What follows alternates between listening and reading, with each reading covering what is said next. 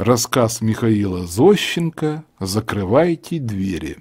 Вечер, мы пьем молоко и ложимся спать. Я подхожу к окну, за окном темно, так темно, что даже не видно клумбу с цветами. Я всматриваюсь в окно.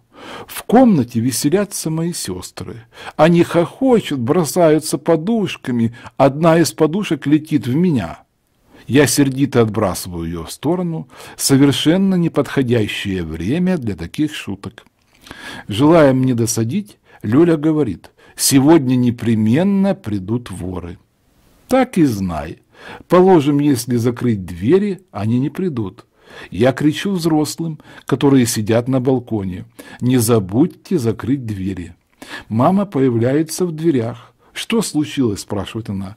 «Нет, ничего не случилось», – говорю я. «Но Лёля думает, что сегодня придут воры». Мама целует нас и, улыбаясь, уходит. Я лежу, закрывшись головой одеялом. В доме уже тихо. Все спят. Но мне не спится. Двери конечно, закрыты. Я сам слышал, как щелкнул крючок. Но закрыты ли окна? Я встаю с постели, подхожу к окну, пробую крючок. Закрыто. Может быть, в той комнате забыли закрыть окно? осторожно ступая, я иду в соседнюю комнату.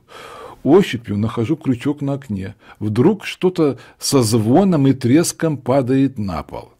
Я слышу испуганный голос мамы. «Что? Кто там? Воры? Где? Где воры?» – кричу я матери. В доме переполох. Все прибегают, зажигают лампу. На полу лежит разбитая банка с цветами. Мать успокаивает меня, и я снова ложусь в постель, закрываюсь головой одеялом.